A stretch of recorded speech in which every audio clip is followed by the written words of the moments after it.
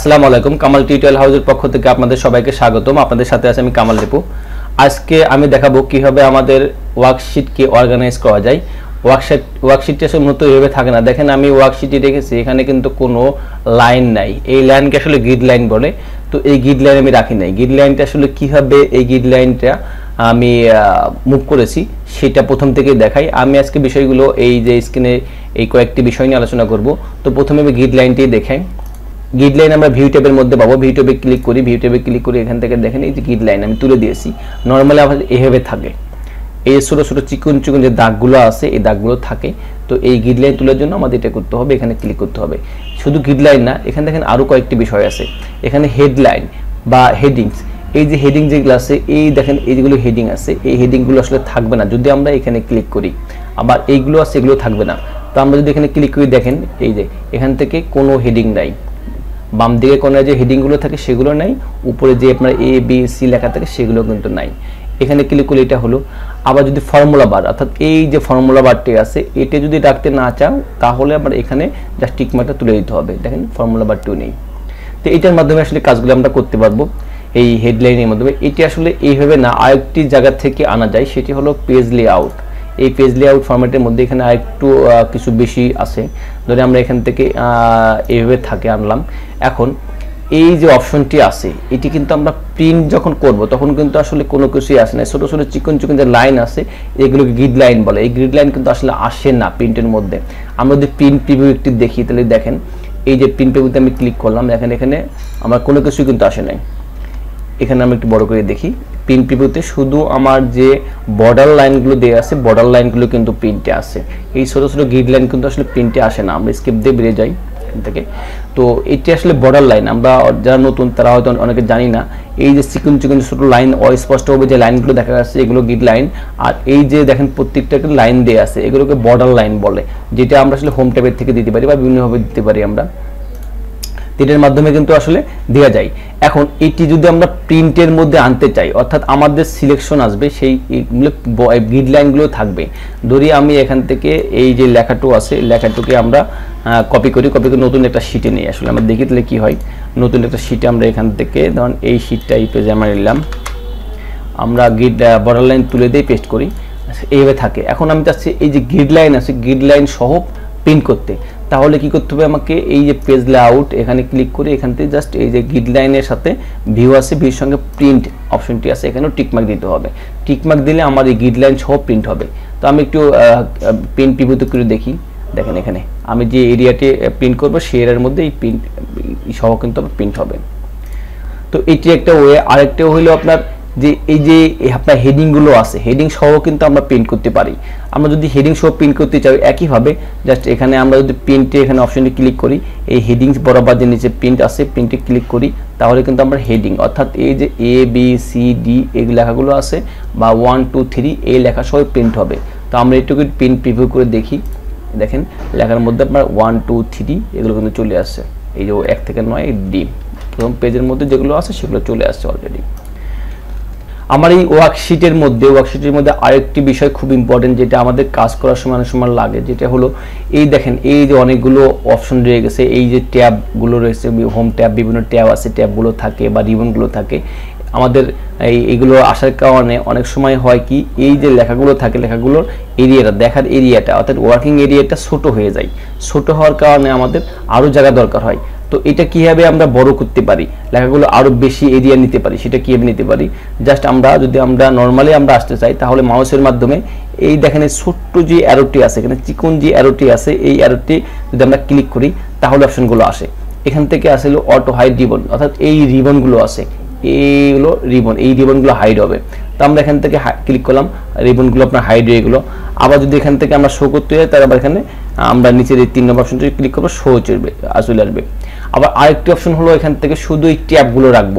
এই যে আপনার ফাইল হোম ইনসার্ট এই যে ট্যাবগুলো আছে, এই লাইন এই লাইনগুলো থাকবে। এই রিবনগুলো আপনার হাইড হয়ে থাকবে। তো এটার জন্য কি করতে হবে? আমাকে এখান থেকে ক্লিক করে এখান থেকে শো ট্যাব। দুই নম্বরটা যদি ক্লিক করে, দেখেন এখানে শুধু এগুলো আছে। এগুলোর মাধ্যমে আমরা করতে পারি। আবার এইটা যখন আমরা কাজ করব, যখন আমরা কোনো কিছু চেঞ্জ করতে চাই, অর্থাৎ এখান থেকে যদি কোনো কাজ করতে চাই, ধরুন আমরা এখান থেকে আমরা গিড লাইন দিতে যাচ্ছি, বা এখান তো বর্ডার লাইন দিতে যাচ্ছি, তো হোম ট্যাবে ক্লিক করে এখান থেকে আসব, এখান থেকে বর্ডার লাইন ক্লিক করলাম বর্ডার লাইন দিলাম, চলে গেলো। এখন যখন ফাঁকা জায়গা ক্লিক করব অটোমেটিক্যালি কিন্তু এটা হাইড হয়ে আছে দেখেন এখানে হাইড হয়ে গেছে। আবার যখন আমি কোনো কিছু করতে যাব, এখানে হোম ট্যাবে ক্লিক করব, চলে আসবে। আমরা আবার ফাঁকা জায়গা ক্লিক করব, দেখেন অটোমেটিক্যালি হাইড হয়ে গেছে। তো এইটাকে আমরা এভাবে করতে পারি। আবার যদি মনে করি না আমরা এখান থেকে না এনে আরেকটি ভাবে আনা যায়। এখানে শো আমরা ট্যাপ দিলাম, এখানে ক্লিক করলে আবার চলে আসবে। যদি আমরা এখানে ক্লিক চলে আসবে। তো এটি এইভাবে না, আমরা আরেকভাবে কিন্তু আমরা আনতে পারব। আমরা ধরি আগের মতো আমরা দিয়ে দিই শো ট্যাব এখানে যদি ডবল ক্লিক করি, দেখেন ডবল ক্লিক করলে কিন্তু এই যে আসছে চলে গেছে একটা ক্লিক করলে সিঙ্গেল ক্লিক করছি, আসছে চলে গেছে আবার। বা ডবল ক্লিক করলে কিন্তু এখানে পারমানেন্টলি আবার থেকে যাবে। অর্থাৎ যে অপশনটা আমরা রিবনটা হাইড এবং শো রাখলাম, সেটা কিন্তু থাকবে না। ডাবল ক্লিক করলে থেকে যাবে। ডাবল ক্লিক করলাম, এখন কিন্তু সমস্ত কিছু আবার রয়ে গেছে। দেখেন, এখন ফাঁকা যা ক্লিক করে যাবে না। আবার এটি যদি আমরা এইভাবে মানে হাইড করতে চাই, যেভাবে আমরা হাইড করলাম, আর রিবনগুলো হাইড করে দিলাম, একইভাবে ডাবল ক্লিক করলে চলে যাবে। আমাদের এখানে ডাবল ক্লিক করি হোম ট্যাবে ডাবল ক্লিক করি। ডাবল ক্লিক করলে যে অপশনটা আমরা এই কর্নারে ক্লিক করে আনছিলাম, সেটি কিন্তু ডাবল ক্লিকের মাধ্যমে হয়ে গেল।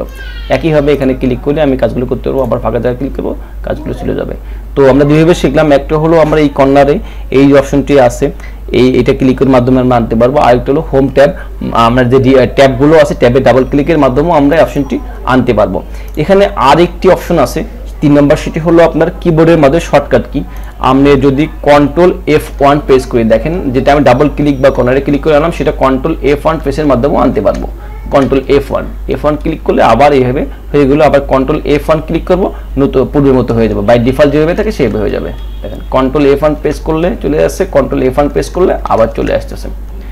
এটি একটি বিষয়, আরও একটি বিষয় হলো ট্যাবের, যে আমরা নিচে যে এগুলো দেখি এগুলো ট্যাব, এই দেখেন এখানে বিভিন্ন ধরনের ট্যাব আছে। আমি দেখেন কয়েক কালার দেখছি, বিভিন্ন অপশনগুলো বিভিন্ন কালার আমি সিলেকশন করছি। কালারগুলো কীভাবে দেয়? তো এই কালারগুলো দেওয়ার জন্য এটি দুই দিন দুইটি অপশনে দিতে পারবেন। কালারগুলো দেওয়ার জন্য প্রথমে আপনাকে এখানে রাইট বাটন ক্লিক করতে হবে। কালার রাইট বাটন ক্লিক করে এখান থেকে আপনি ট্যাপ কালার আছে। ট্যাপ কালার থেকে আপনি আপনার পছন্দ মতো কালার এখান থেকে সিলেকশন করতে পারবেন। আপনি শুধু এই কালারই না এই কালারের সঙ্গে বিভিন্ন ধরনের কালার আছে, সেগুলো সিলেকশন করতে পারেন। এখান থেকে যদি মোর কালারে ক্লিক করেন, এখান থেকে দেখেন এই যে বাই ডিফল্ট স্ট্যান্ডার্ডে ক্লিক করা আছে, এখান থেকে বিভিন্ন কালার আপনি দিতে পারবেন। এখান থেকে যদি আপনি আরও কালার চেঞ্জ করতে চান কাস্টমে ক্লিক করবেন। কাস্টমে ক্লিক করে এখান থেকে আপনি ধরেন লাল কালার চাচ্ছি, আমি লাল কালার দেবো। লাল দেখেন এখানে ডিপ এবং লাইট এই অ্যারোটি টেনে ধরে আপনি ব্রেকডাউনের মাধ্যমে ডিপ এবং লাইট করতে পারবেন। তো আমি ধরে এই কালারটি আমি রাখব। ধরুন এই যে কালারটি এই যে শিট টু এই কালার হবে। এখানে ক্লিক করে এই কালার হয়ে যাবে। আর এই যে শিট আছে, এই যে শিট টু লেখা আছে, এটাকে যদি আমরা রিনেম করতে চাই, এটা রাইট বাটন ক্লিক করে এখান থেকে যে রিনেম আছে রিনেমের মাধ্যমে আমি ক্লিক করতে পারব। রিনেমে ক্লিক করলে এখান থেকে আমি এ বি সি লিখলাম। হবে। আবার এখান থেকে ডাবল ক্লিক করবেন। ডাবল ক্লিক করলেও কিন্তু এখান থেকে এডিটের অপশনে চলে আসবে। এখান থেকে আপনি যে কোনো লিখতে পারবেন। আমি লিখলাম ডিভিডি একটা অপশন লিখলাম, চলে আসবে। তো এটি হলো আপনার লেখার কালারগুলো চেঞ্জ করলাম। এই কালারগুলো আমরা আরেক জায়গাতে চেঞ্জ করতে পারি। সেটা হলো হোম ট্যাবে ক্লিক করে এই যে ফরম্যাট ফরম্যাটের আসার পরে এখান থেকে দেখেন ট্যাপ কালার ট্যাপ কালার এখানে আছে। ট্যাপ কালার আসে এখান থেকে যে অপশনগুলো আমি দেখলাম, সেই অপশনগুলো আবার এই ফরম্যাট থেকে আমরা করতে পারব। এটি গেল, আর এই ট্যাবগুলো সিলেকশনের বিষয় আছে। ট্যাবগুলো সিলেকশন আমরা ট্যাবগুলো কিন্তু সিলেক্ট করার জন্য আমরা নর্মালি সেল যেভাবে সিলেক্ট করি কন্ট্রোল প্রেস করে আমরা বিভিন্ন ট্যাব সিলেক্ট করতে পারি, এখানেও কিন্তু ওইভাবে সিলেক্ট করা যাবে। অর্থাৎ আপনি এখানে একটা, দুইটা বা আপনার ইচ্ছা মতো ট্যাবগুলো আপনার সিলেক্ট করতে পারবেন। সিলেক্ট করে এগুলো আপনি মুভ করতে পারেন এখান থেকে দেখেন আপনি এখান থেকে ডান দিকে, বাম দিকে মুভ করতে পারবেন। এটা হলো মাউসের লেফট বাটন ক্লিক করে আপনি ড্র্যাগ ডাউন করে ড্র্যাগের মাধ্যমে ড্র্যাগ করতে পারবেন। তো আবার আমি দেখি আমরা যদি এখান থেকে এই শিট থ্রি শিট থ্রিটা আমি ধরেন এখান থেকে না, আমি এই জায়গায় আনতে আসি। তাহলে কি? মাউসের ডেট বাটন ক্লিক করে আমি এই ড্র্যাগ করে আমি শিফট থ্রি এই যে আপনার ছোট্ট একটি অ্যারো দেখেন শো করে, ছোট্ট অ্যারোটি এখানে ক্লিক করলেই আপনার এখানে চলে আসবে। তো এভাবে আমরা ট্যাবগুলোকে মুভ করতে পারব। আর এই ট্যাবগুলোকে আমরা ডিলিট করার জন্য আমরা এখানে রাইট বাটন ক্লিক করে এখান থেকে দেখেন ট্যাবের বিভিন্ন অপশনগুলো আছে। এখান থেকে ডিলিট ইনসার্ট রিনেম এই অপশনগুলো আসলে আছে। এখান থেকে আমরা এই ট্যাবগুলো করতে পারব। তো ট্যাবের এখান থেকে ডিলিট করতে চাই, তাহলে আমরা এখানে জাস্ট ট্যাব ডিলিটের ক্ষেত্রে আরেকটু ট্যাব না এখানে শিট এই শিটগুলো যদি আমরা ডিলিট করতে চাই, তাহলে এখানে দেখেন ডিলিট করতে চাইলে কিন্তু খুব কেয়ারফুলি করতে হবে। ডিলিট করলে কিন্তু আপনাকে রিকল করতে পারবেন না। তো এটা ডিলিট করার সময় খুব চিন্তা ভাবনা করে ডিলিট করবেন। আমরা একটা নতুন একটা শিট ক্লিক করি ইনসার্ট করি ইনসার্ট করে দেখি আমরা। দেখেন, আমরা এই সিটটি সিট নাম্বার ফোর ইনসার্ট করলাম। এটাকে যদি আমরা ডিলিট করি ডিলিট করলাম বাট এটা কিন্তু আসবে না। আমরা কন্ট্রোল জেড দিলেও কিন্তু এটা আসবে না। অন্যখানে চলে গেছে। তো যখনই আমরা কোনো শিট ডিলিট করব, সেটা একটু চিন্তা ভাবনা করে ডিলিট করব। যদি আমার প্রয়োজন না পড়ে ডিলিট করব না। তো ডিলিট করার আগে আমরা দুইবার চিন্তা করে নেব ডিলিট করা প্রয়োজন কি না। তো এটি হলো আপনার গেল আরেকটা বিষয় আছে এখান থেকে। এই দেখেন, এখানে আমরা ধরলাম এখানে অনেকগুলো শিট দেখেন, এগুলোর ভিতরেও কিন্তু অনেকগুলো শিট আছে। তো এটা ক্লিক করার জন্য, দেখার জন্য আমাকে জাস্ট এখানে যে অ্যারোগুলো আছে, এই অ্যারোর মাধ্যমে আমরা দেখতে পারব। আমরা দেখতে পারব। আর একটি বিষয় হলো এখান থেকে যদি অ্যারোর মাধ্যমে দেখতে না চাই, তাহলে এই যে অ্যারো আছে, অ্যারোতে রাইট বাটন ক্লিক করতে হবে। ক্লিক করলে এই লিস্টটা আমার এখানে চলে আসবে। এই লিস্টটা আমার এখানে চলে আসবে। এখান থেকে আমি যে সিটে মন চাই, আমি সেটা যেতে পারব। আমি ধরুন এখানে আমি আরেকটা সিটে গেলাম, আমরা এখানে ডিপ এই শিটে চলে আসি। প্রথমে এই সিটে ওকে ক্লিক করলাম, এখন আমরা এই শিটে চলে আসলো মুভ করে।